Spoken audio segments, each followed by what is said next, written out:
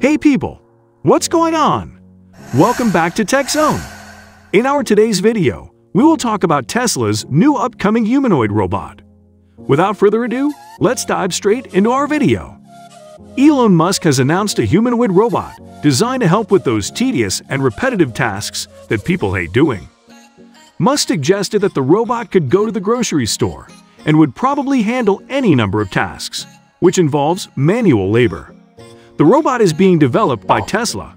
While it's a possible departure from the company's auto manufacturing business, if you're not considering Tesla as a typical automaker. The so-called Tesla Bot is a concept for an elegant 125-pound human robot that will incorporate Tesla's automotive AI and autopilot technologies to plan and follow routes, navigate traffic, and avoid barriers. Unsurprisingly, social media is full of references to a series of dystopian science fiction movies about robots where everything goes terribly wrong. If we keep sci-fi dystopian nuances aside, the plan surely makes some sense as it falls within Musk's corporate strategy.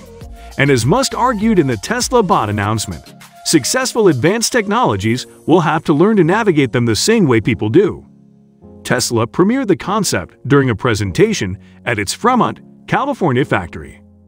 Tesla is calling it Tesla Bot and Optimus, and have claimed that it would show a prototype next year. During the presentation, a human dressed as the machine made robotic gestures and then danced around the stage.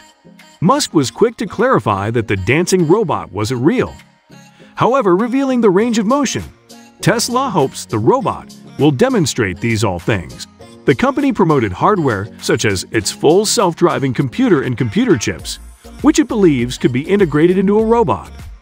Tesla said the robot will be equipped with a screen, an autopilot system consisting of eight cameras, and the company's fully autonomous driving computer. Human-like robots have been a fascination in pop culture for a long time. But creating a human-like robot that can perform human tasks has proved incredibly difficult. AI has improved rapidly, but is still far behind a child's overall capabilities robotics applications have been limited to basic tasks in simple environments, such as transporting goods in a factory or self-vacuuming a home. Musk said the robot will be 5 feet 8 inches tall, weighing 125 pounds. It would carry 4 to 5 pounds and would move at a speed of 5 miles per hour. Musk said Tesla would start by giving the robot 5 fingers on each hand, but the blueprint might change in future. He said at AI Day, Tesla wanted to show more than his electric car company.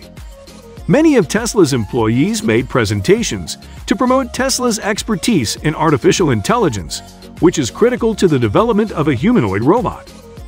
Elon Musk is a visionary who reaches new heights in the world of technology. Whether it's reinventing space travel or creating a self-driving car, dream big. However, not all of his ideas are successful. Where will the Tesla bot go? We have to look at the autonomous car to get a clue. Musk wants to power the robot with the company's driver assistance software, which isn't exactly performing the best in recent times. On several occasions, driver assistance software has crashed an autonomous Tesla into parked emergency vehicles.